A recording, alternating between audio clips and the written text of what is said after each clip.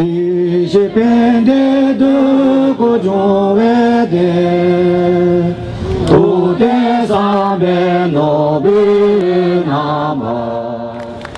So I would, in closing, what I would like to say is that the Indian government should make two changes of policy. First should be that because the Chinese have refused to accept the border between India and Tibet. They, they do not agree with the border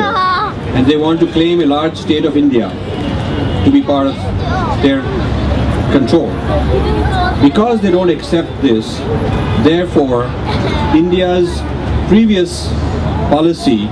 of, of saying okay China can, can take over Tibet and control it has to be voided and reversed because legally you cannot give somebody control of something which is not even properly defined. If the boundary is not defined,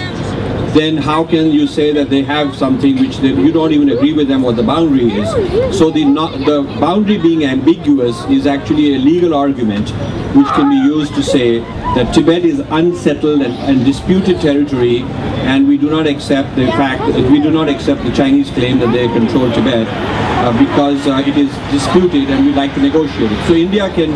reopen the negotiation with China on that basis on, over the status of Tibet. The second, uh, the second change in policy which I think uh, the Indian government should make is that I'm told that in the 1960 when His Holiness Dalai Lama came to India, there was some agreement between Nehru, the Indian Prime Minister at the time, and His Holiness that, and it was done under Chinese pressure, and the, an agreement which I don't think has ever been made public, but there was an agreement that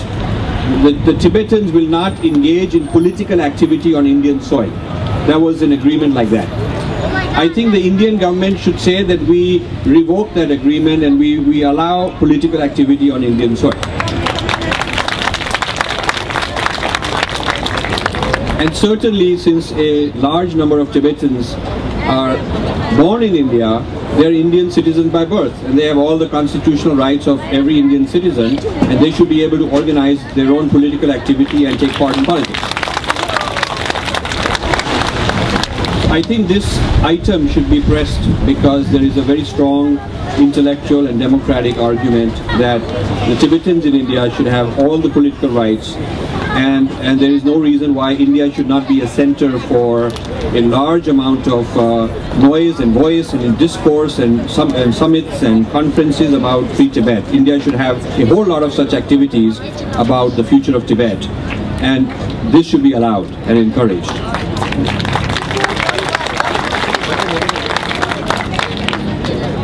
I would also recommend that His Holiness should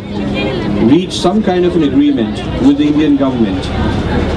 whereby he accepts that a free autonomous Tibet should enjoy a kind of protection from the Indian government. And, and not just Tibetan people in India but the whole of Tibet should enjoy protection from the Indian government and have some kind of an agreement of this sort which could then be used to negotiate more actively and more aggressively and assertively with the Chinese.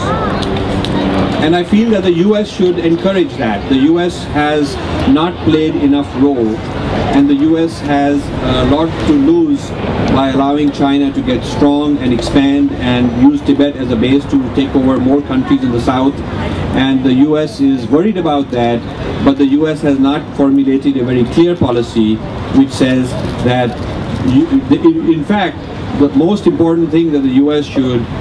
do with India in terms of diplomatic, uh, you know, negotiations is to is that the U.S. and India should jointly have a more active